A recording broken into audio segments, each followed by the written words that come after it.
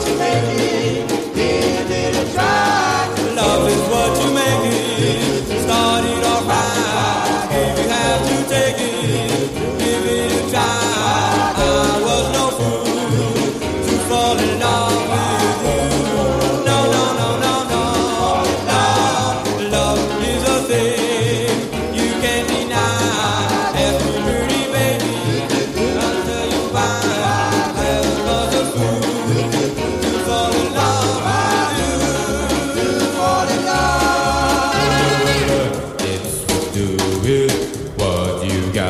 That brings you happiness.